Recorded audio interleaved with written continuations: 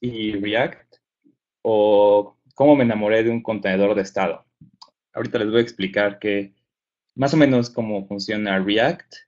Eh, no sé, no sé si alguno de ustedes hayan usado alguna de estas eh, dos tecnologías.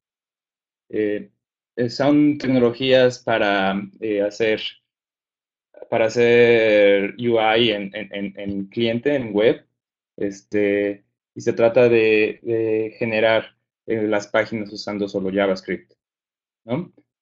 Eh, yo soy Eduardo Boyen, eh, la mayoría me conoce como Kulasi también. ahí está mi Twitter y mi GitHub, por si me quieren seguir o ver mi código o whatever. Y una bonita foto de yo siendo mi rey en Puerto Vallarta. Bueno, entonces, este, vamos a empezar por el problema que tenía y por qué decidí este, usar Redux y React, ¿no? Eh, bueno, como ya les comentó Hilda, yo soy este founder de Barcito y soy el que hace todas las, eh, las aplicaciones y el sitio.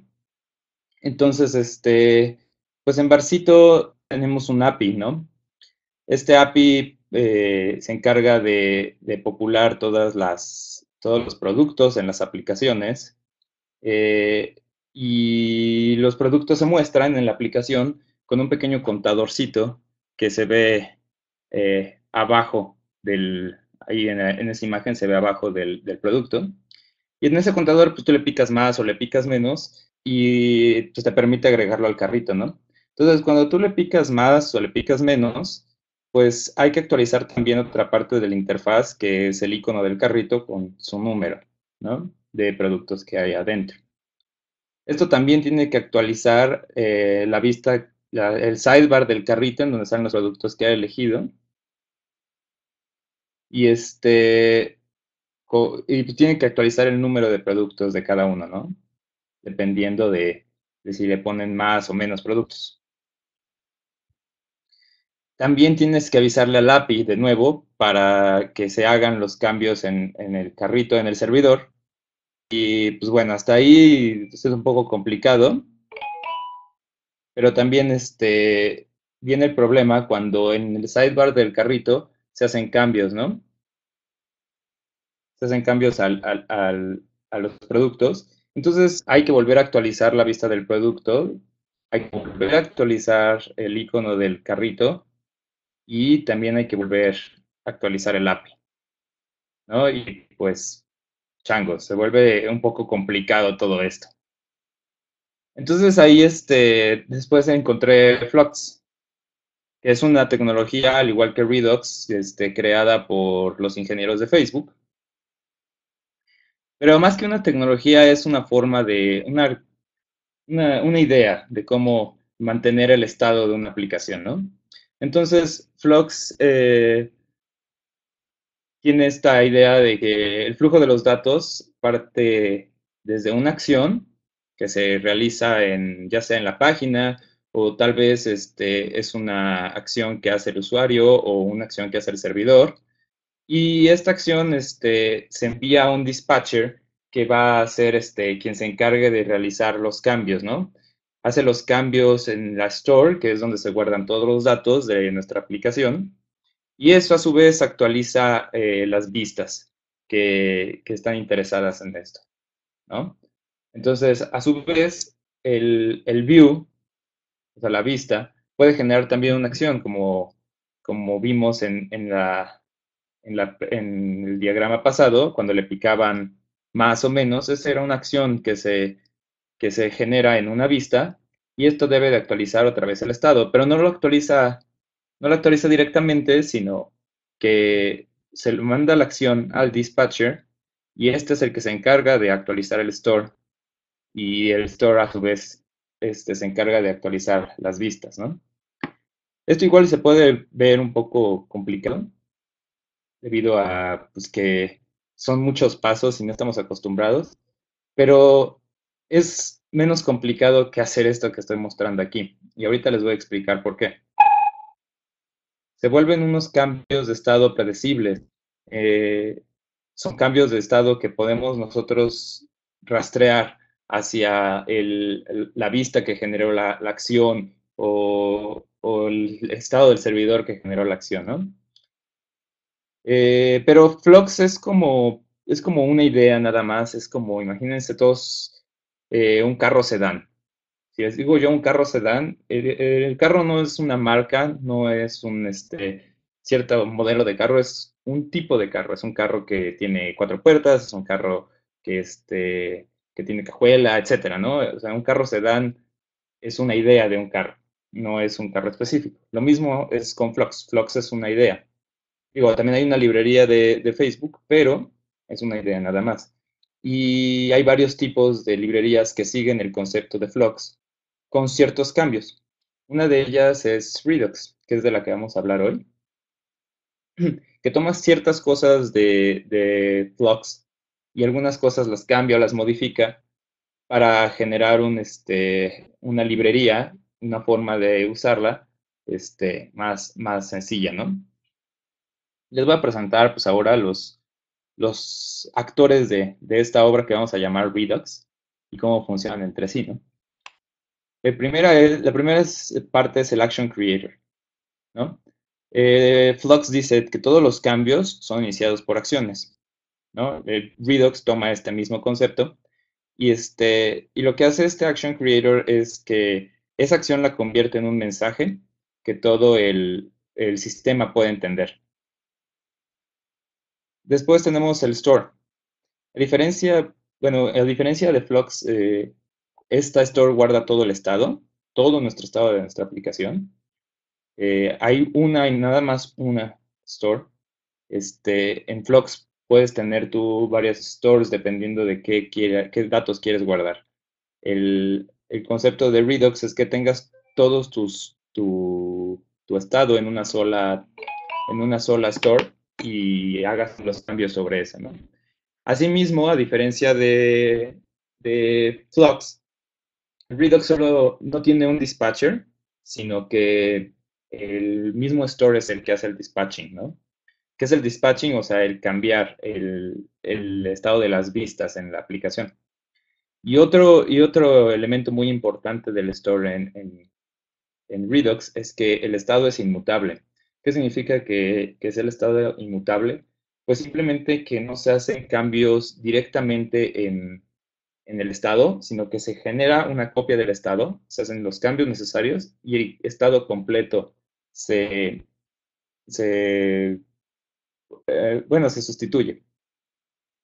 Ahorita les voy a explicar un poco más eh, a profundidad cómo funciona eh, esto del estado inmutable. El siguiente actor de nuestra obra son los reducers. Este, pues estos, la verdad, son los que hacen como la chamba, la chamba pesada, ¿no? la store les va a preguntar cómo una acción que se generó va a cambiar el estado de la aplicación. Eh, estos reducers son jerárquicos. Entonces va a haber un root reducer, que es el que está este, hasta arriba y, recibe el estado completo. Y este root reducer lo que hace es cortar el, estado en pequeños cachitos y le envía cada cachito a un reducer abajo de su jerarquía. ¿no? Esto puede seguir siendo así por varios niveles este, hasta que ya cada, uno, cada un reducer tiene el cachito que le interesa del estado. Y todos los cambios eh, que se hacen en el estado, como les decía, son realizados en una copia del mismo estado. O sea, no se hacen cambios en, el estado, sino en la copia del estado. Ahorita, ahorita les va a quedar más claro con otro diagrama. Y por bueno, también tenemos eh, los views, que son las vistas que se muestran al usuario. Eh, puse ahí una muñequita, pues es lo que ve el usuario, lo bonito. Eh, y también hay eh, componentes Smart y DOM. Estos son componentes de, React. Y los Smart son los que tienen directo acceso al, estado. Y los DOM son este, componentes en los que reciben nada más el estado, pero a través de props de React no, no reciben ellos, este, no tienen conexión directa con el Estado, ¿no? Eh, los, componentes Smart están a cargo de realizar este, las acciones. Son los que se encargan de, juntar todos los dump components y sus acciones y generar los, los cambios en el estado. Eh, muchas veces eh, estos smart components, muchas veces los smart components no generan un DOM, no generan código, solo engloban, encapsulan los, eh, los, los, dump components y este, realizan la lógica necesaria. Luego hay, dos, hay otros dos actores muy importantes. El primero es el View Layer Binding, que es el que conecta el store con su estado y los views, ¿no? En el caso de usarlo con React, este va haciendo el paquete de NPM eh, React Redux, que es el que se encarga de hacer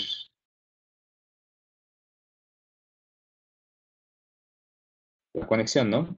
Y este componente para la aplicación eh, y hace posible el, cambio del estado, bueno, la conexión del estado con la conexión de, los views. Este, y esto se realiza a través de la función connect del mismo, del mismo paquete. Eh, y por último tenemos un selector, que es una función que, escribimos nosotros en la que le decimos eh, a connect, a la función connect, cuáles son los componentes del estado que le interesan, que le interesan a esa view. Y por último, el root component, que es el que inicia todos los componentes y todos los componentes son sus hijos en Redux. Este, se encarga también de crear la, la tienda, o sea, el store, eh, le dice también que reducers va a usar. Después va a conectar las views con el view layer binding que habíamos visto. Y básicamente ya es todo lo que va a hacer en, el periodo de vida de la aplicación. Ya, o sea, solo hace el principio de la aplicación y no vuelve a entrar en el, en el proceso, ¿no? Hay principios muy importantes de Redux, son tres. Eh, el, el primer principio es que solo hay un estado. Solo hay un store y todo el estado de nuestra aplicación se encuentra eh, metido en, ese, en esa store. No hay muchas y, solo e, ella se comparte todo con la misma aplicación. El estado que es de solo lectura, o sea, los, los componentes no pueden más que leer el estado. Si quieren realizar cambios, tienen que ser por medio de acciones y las acciones van a, van a modificar el estado completo, no solo un cacho. Lo van a reemplazar completamente.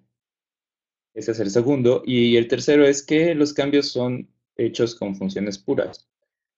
Esto significa que, bueno, una función pura es una función que no importa este, cuántas veces le metas el mismo, el mismo input, va a sacar un output igual. O sea, si yo, si por ejemplo una función suma, si yo le meto 2 más 3, siempre me va a dar 5, no importa cuántas veces lo haga.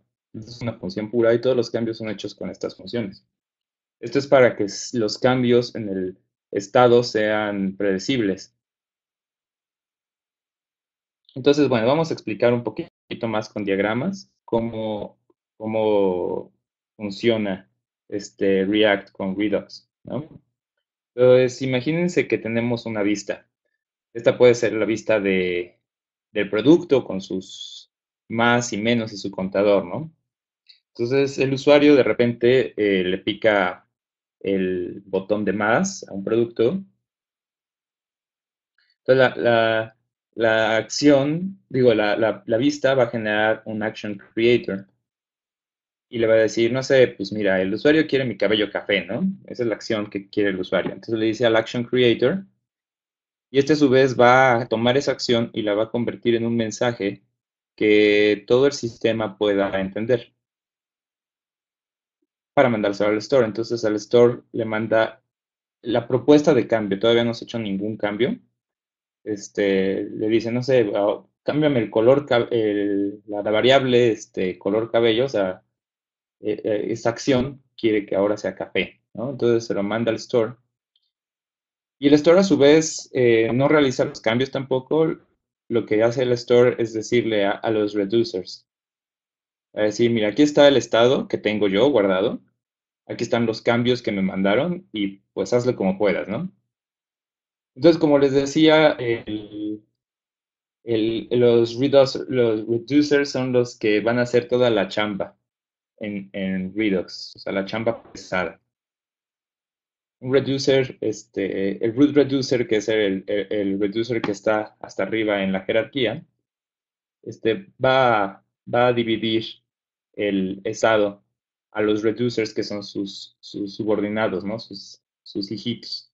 Les va a mandar a cada uno de ellos un cachito del estado. Entonces, ¿qué va a hacer cada reducer? Cada reducer va a ser una copia del cachito que recibe. O sea, le va a llegar, por ejemplo, si, si eh, el estado completo este, tiene, no sé, el, el color de, el color de ojos es una, una, variable, ¿no? Y eso es lo que se encarga este, eh, este reducer. Y por acá, no sé, el color de ojos es este reducer. Entonces, le va a mandar un cachito del, del estado al que, que, le concierne a cada reducer y los cambios que se realizan. Entonces, cada, cada, cada reducer va a ser una copia de su cachito para no modificar el, estado original, va a ser los cambios requeridos que, que se le mandaron, pero en la copia, no en el estado original. Se hacen los cambios en la copia y ya cuando modifican la copia y ya tienen la copia lista, después de pasar por algún proceso, este, esta copia modificada se la va a mandar de nuevo de regreso a su superior. Y entonces, pues ya cuando todos este, terminan de realizar los cambios que son necesarios en el estado, se los van a mandar de nuevo al, a su superior y así hasta que lleguen al root reducer. Entonces el root reducer lo que va a hacer va a ser agarrar todos estos cachitos de nuevo y los va a pegar en un nuevo estado.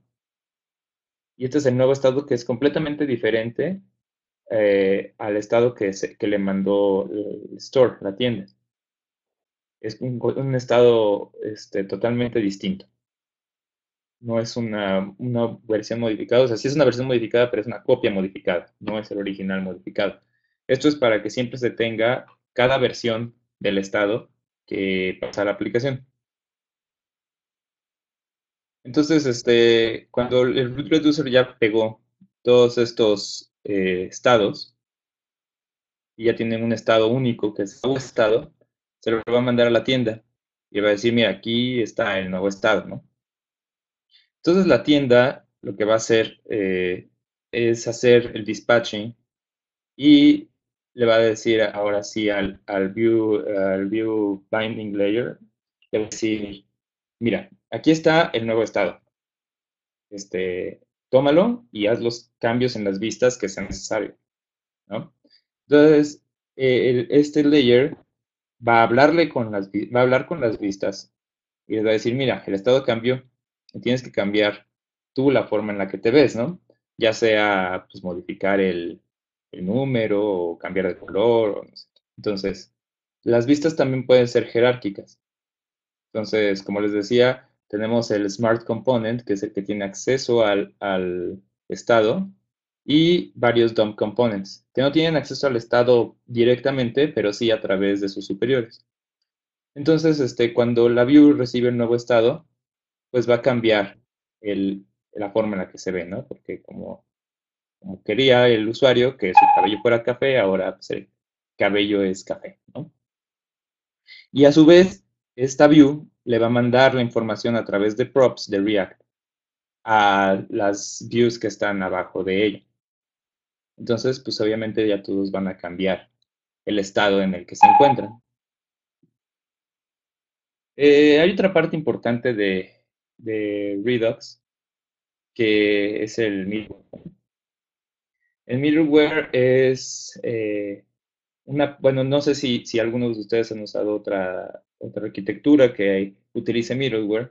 En el caso del Redux, el middleware se encarga de, modificar o de hacer ciertas operaciones eh, en la fase desde que es una acción hasta que, se, hasta que le llega a los reducers. O sea, es como unos procesos intermedios que se, que se llegan a realizar ahí.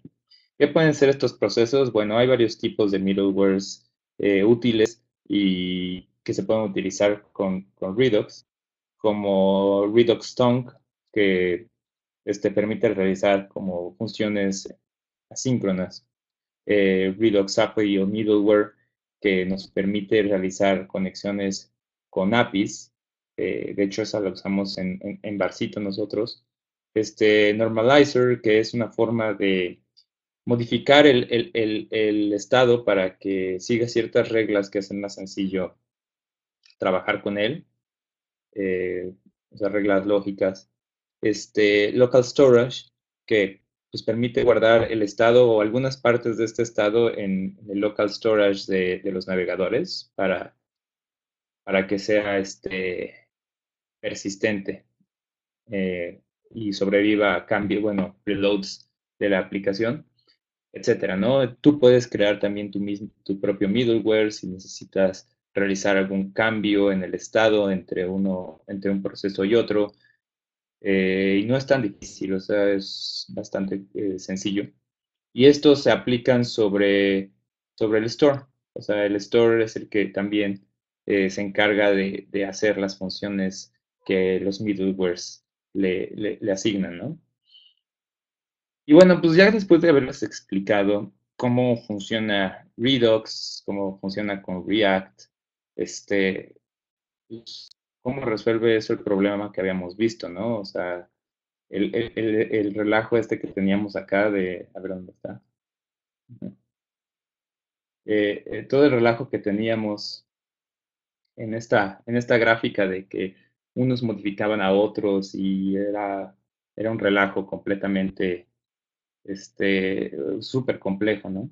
¿Cómo, cómo, cómo resuelve eso nuestro problema?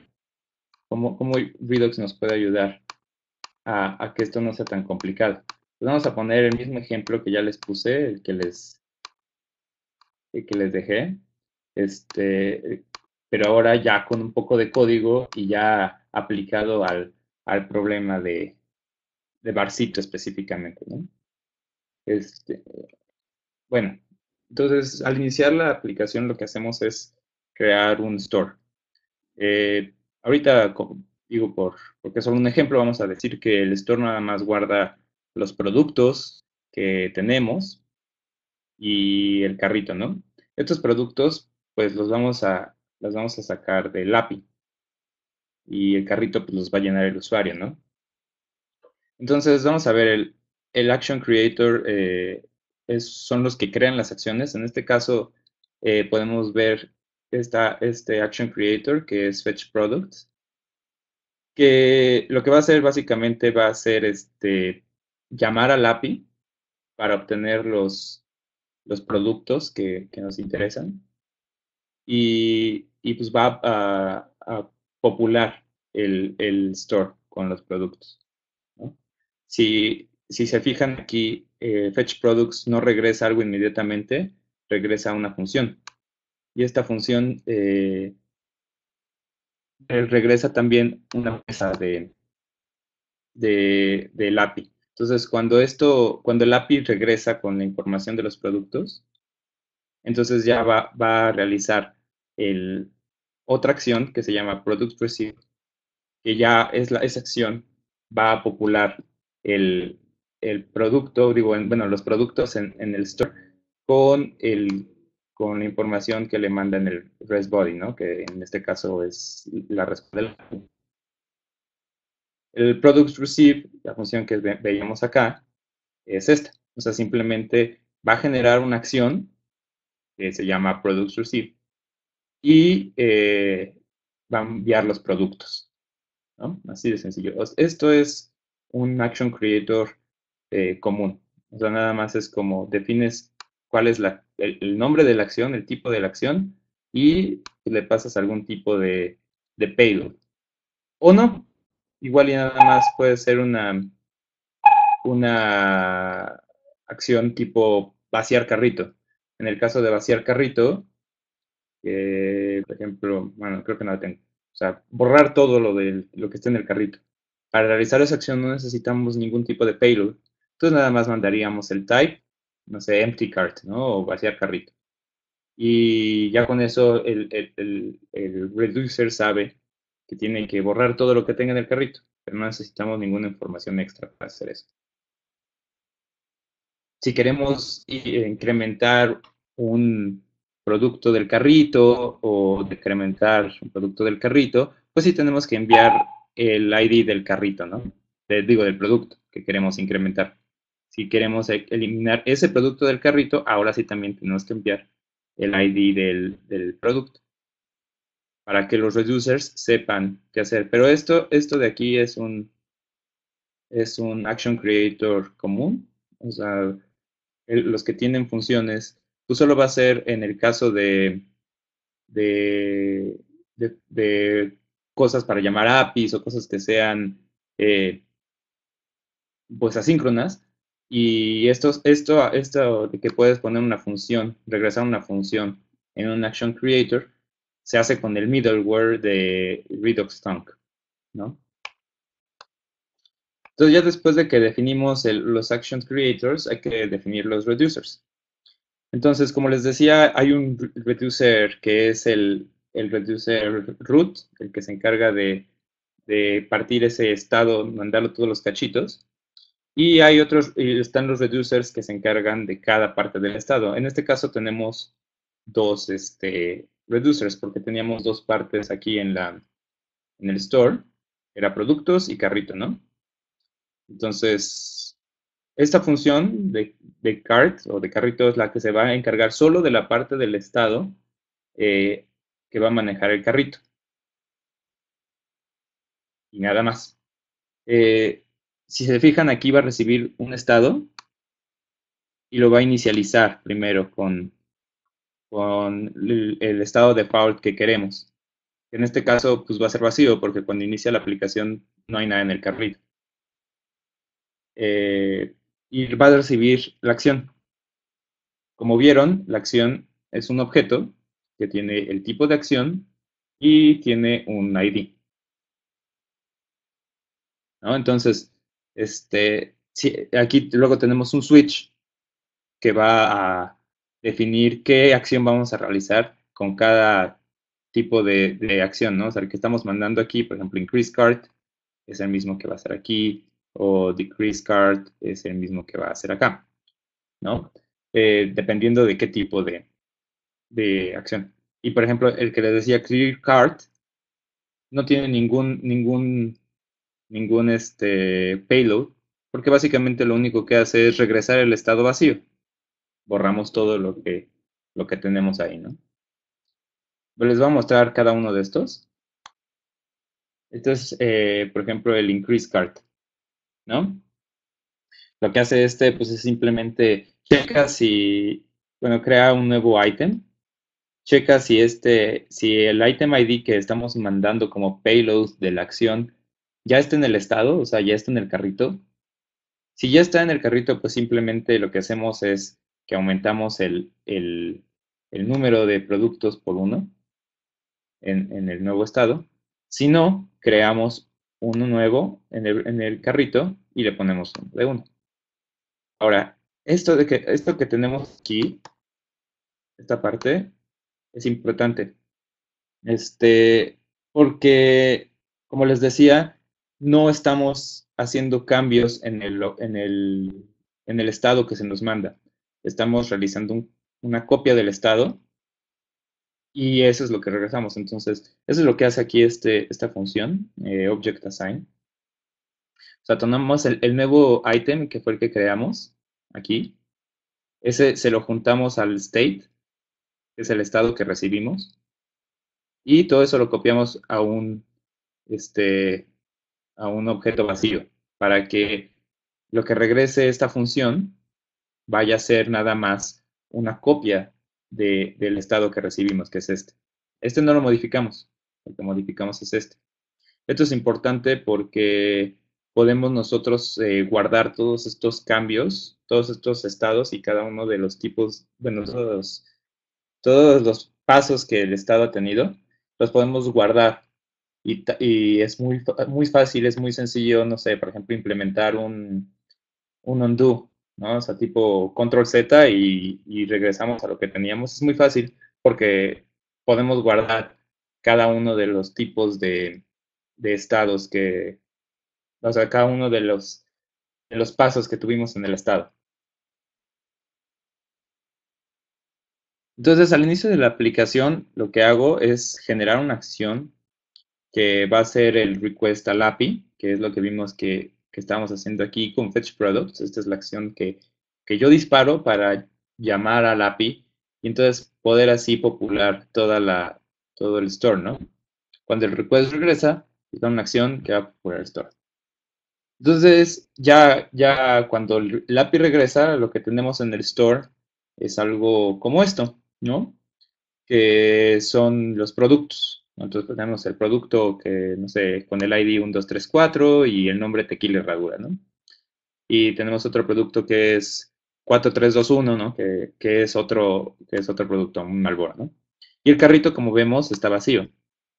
Ahorita todavía no hay nada ahí. El usuario no ha metido nada. Entonces, ¿qué pasa cuando tenemos nuestra vista y está ahí el tequila herradura, ¿no? Y como inicia, inicia en cero porque pues, el usuario no ha hecho nada. Entonces, cuando le pica el más, lo que hace la acción es crear un, un action creator. Entonces, el usuario quiere una botella herradura. Y lo que hace el action creator es hablar con el store y convertir esa acción en un, en un objeto que va a indicar el tipo de, el tipo de acción, que en este caso es increase card, y el ID del item, que es un 234, que es lo que habíamos visto en esto, ¿no? es el que recibimos, el ID.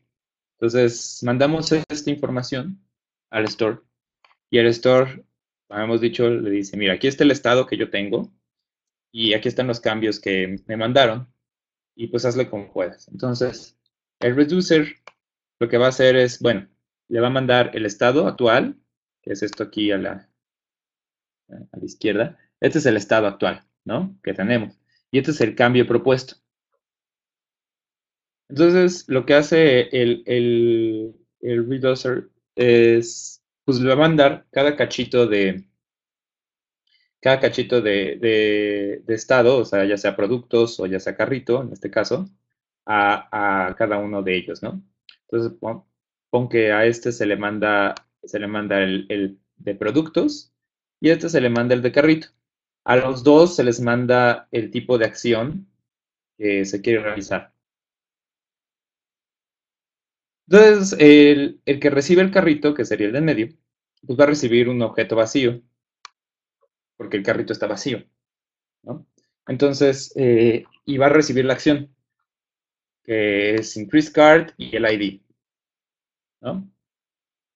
Y entonces checa su función para hacer el incremento, o sea, al, que corresponde el tipo de acción.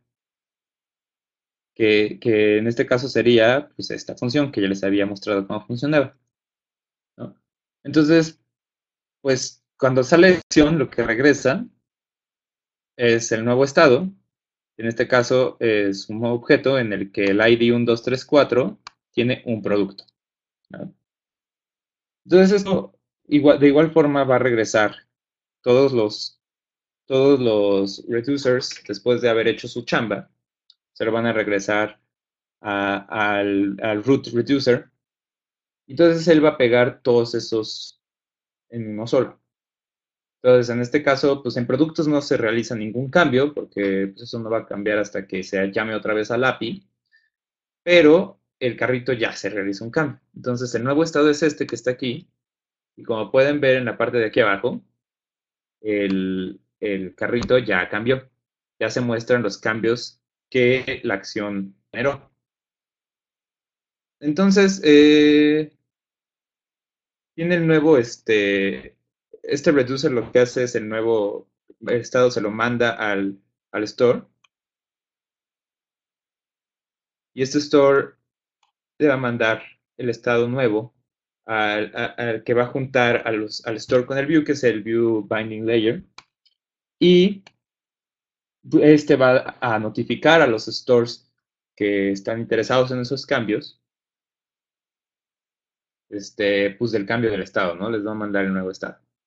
Entonces, las, los views, pues de igual forma aquí vamos a tener que tenemos un, root view o el, smart view y tenemos varios, este, varios eh, dump views que no tienen directo acceso al estado, pero eh, tienen directo acceso al, a, su parent, ¿no? al que está arriba en su jerarquía. Entonces, de igual forma, pues llegan los estados y cambian todo. Entonces ya cambia el, directamente el estado 1, o sea, si le di clic aquí, después de hacer todo esto, va a cambiar todo a 1. Y esto se hace automáticamente, no tenemos nosotros que ir cambiando cada uno de los, de los, de los views porque como vimos en el diagrama, pues se vuelve muy, muy complicado, ¿no? Vamos a, vamos, ya que, ya que entendieron un poco más eh, cómo funciona esto, les voy a enseñar cómo eh, está funcionando en, en la, pues ya en producción, ¿no? Déjenme inicio aquí la...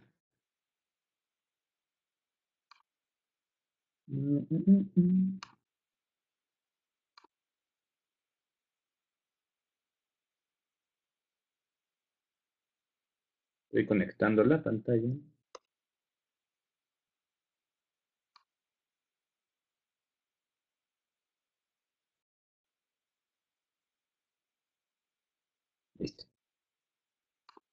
Entonces vamos a meternos, si nos metemos ahorita a Barcito,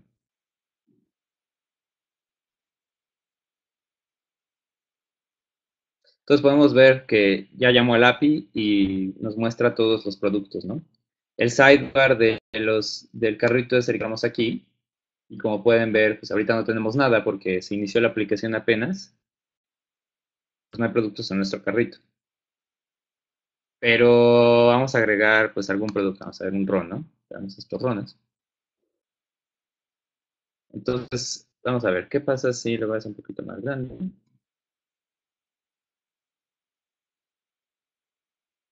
Entonces, cuando nosotros le picamos el clic aquí en el más, pues cambia inmediatamente, ¿no? Lo que está haciendo, lo que está haciendo el, el, Redux es realizar todos los cambios necesarios. Por ejemplo, podemos ver que se realizó el cambio aquí y de igual manera se realizó el cambio aquí.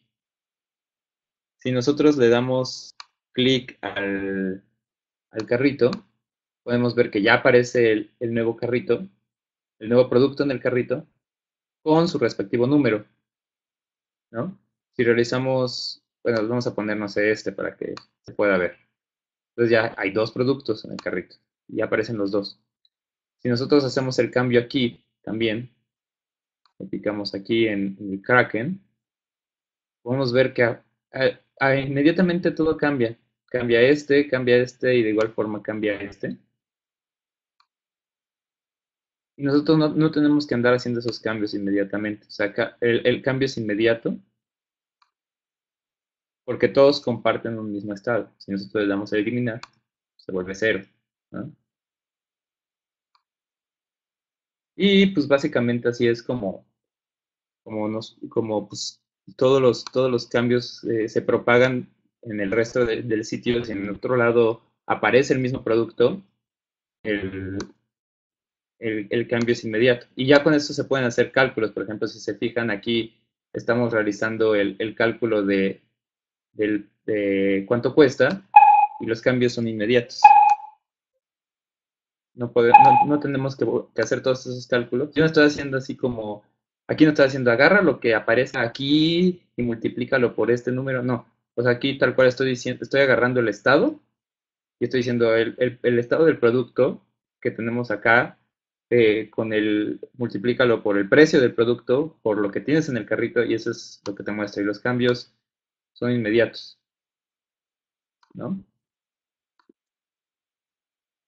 Y pues, eh, vamos a regresar a la presentación.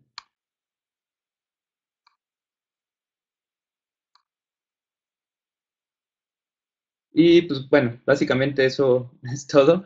Este, si tienen preguntas, eh, pueden ponerlas en el, en el chat y, y ahorita empiezo a resolver, a, a contestarlas.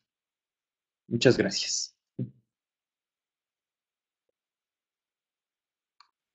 Muchas gracias, Eduardo. No sé si alguien tenga preguntas, por favor, pónganlas en el chat. Ahí las va a estar eh, leyendo Eduardo y las va a estar contestando. Eh, nuevamente agradecemos eh, esta sesión. creo que fue bastante interesante. Como les comentaba, vamos a tener esta sesión grabada en el canal de YouTube y también vamos a tener la presentación para compartirla en el SlideShare. Estén pendientes a las redes de Software Guru porque ahí vamos a poner los links correspondientes. Me parece que por ahí ya estaban eh, haciendo algunas preguntas.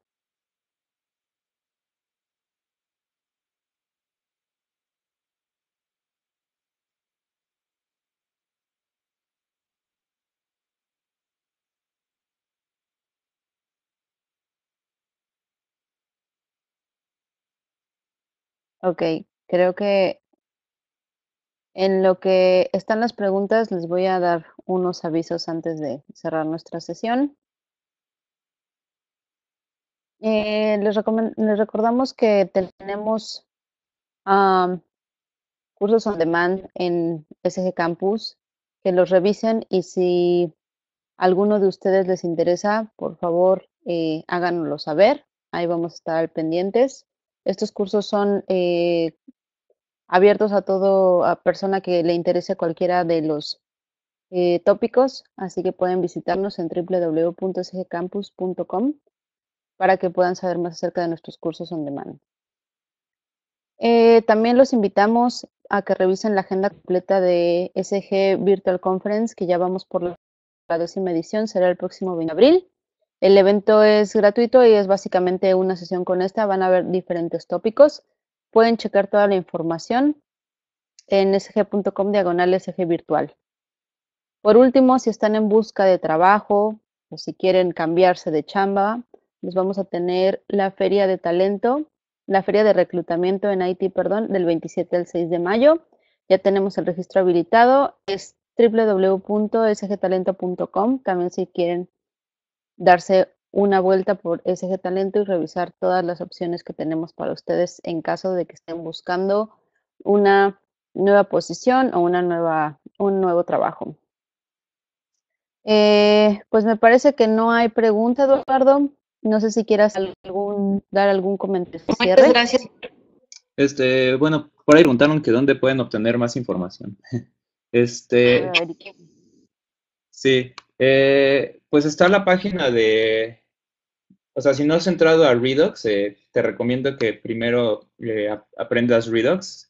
Es una forma distinta de hacer web, eh, ya que, o sea, no estás haciendo HTML per se. O sea, lo que usa Redux es algo que se llama JSX, que es un tipo de HTML, pero, pero está, es, es todo manejado por, por JavaScript, ¿no? O sea, básicamente, si tú ves el código fuente de, de Barcito, a ver, lo voy a volver a, compartir. Bueno, ahí vean, el, más fácil, más, vean el, código fuente de Barcito, el que regresa el servidor en la primera vez, es nada más un contenedor y un JavaScript, que es el que va a popular toda la aplicación, ¿no? Este, entonces, si, si, si quieres aprender, eh, eh, bueno, Redux, eh, lo, lo, que te recomiendo es que primero aprendas React. Eh, Facebook tiene su página de React que tiene una documentación muy buena y de igual forma eh, Redux tiene su página con documentación. A mí me pareció eh, buena también, nada más que este, sí hay que agarrar esa, esa, onda de cómo funciona el, contenedor de estado, ¿no? Porque es diferente a lo que normalmente hacemos. O sea, si tú vienes de, de usar, no sé, jQuery, pues con jQuery tenemos que decir, ah, pues eh, este div con este ID cambia este número, ¿no? Y este div cambia este número, y este div cambia este número, ¿no? Y se vuelve un poco más complicado. Eh, pero con Redux se vuelve muy simple. Entonces sí, te recomiendo que este, si quieres entrar a esto y no sabes Redux, aprende en Redux primero. digo, React primero y ya después eh, comiencen con Redux, ¿no? Eh, la documentación está en los sitios y pues está bastante, bastante completa. Em, a ver, por ahí otra Carlos pregunta. nos pregunta, en comparación con Angular, ¿qué ventajas tiene Redux? Este, bueno, a comparación con Angular, eh, pues, Redux es más que nada la forma de, guardar el estado. De hecho, eh, por ahí había también eh, formas de usar Redux con Angular. Que digo, si, si, Angular es tu, fuerte y quieres este, usar Redux, pues puedes usar Redux. O sea, como, como les decía, esto es una, es, una filosofía, más que nada, más que una, más que una, eh, más que una librería, es una, es una forma de ser, de una forma de cambiar el estado de nuestras aplicaciones, ¿no? Entonces, este, eh, sí se puede, sí se puede conectar Redux con, con Angular, por lo que he visto, y, y o sea, nada más es, la, la, diferencia es cómo se manejan los datos, ¿no? Y cómo van a, cómo van a popularse los cambios. Eh, por ahí también dice una pregunta, ¿la parte del store y persistencia de datos es manejada por los reducers directamente o es una capa más del modelo? Eh, si a persistencia te, refieres a que se guarde, o sea, por ejemplo, si yo, si yo cierro la página de Barcito, eh, cuando la vuelvo a abrir, el carrito no sale vacío. O sea, sale con el carrito que yo ya tenía en, la versión pasada, bueno, en, el reload pasado. Esto es porque estoy usando un middleware que es el que va a guardar estos datos en local storage en el servidor, digo, en el, en el navegador. Y bueno, este es un middleware, no es parte de Redux per se, es como un add-on, eh, pero el, el, Redux, pues así solito, eh, va a perder todo el, todo el estado, a menos de que lo guardes en, en, en el navegador, en el caso de local storage, o pues quizá lo puedes guardar en el servidor y luego regresarlo con una llamada al API, ¿no? Eh, y pues ya, creo que ya son todas las preguntas. Ya son todas las preguntas. Pues nuevamente te agradecemos muchísimo, Eduardo, por esta presentación. Les agradecemos a todos los asistentes ya dimos los últimos comentarios y lo único que me queda decir es que los esperamos el próximo miércoles. En nuestro próximo webinar les vamos a estar poniendo toda la información acerca del mismo en las redes sociales de SG Campus y revista SG, así que pendientes. Muchas gracias a todos y nos vemos en la próxima. Gracias Eduardo, hasta pronto. Gracias, adiós.